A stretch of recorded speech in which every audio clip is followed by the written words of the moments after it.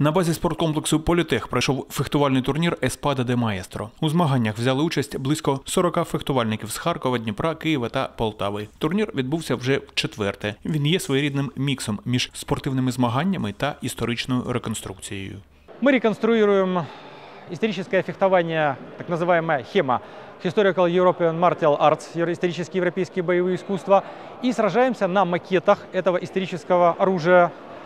Как спортивне спортивное фехтование, только в историческом контексте. Спортсмени змагалися у трьох дисциплінах: рапіра соло, рапіра пара і шабля. Комплекти нагород розігрувалися окремо серед жінок і в змішаній категорії абсолют.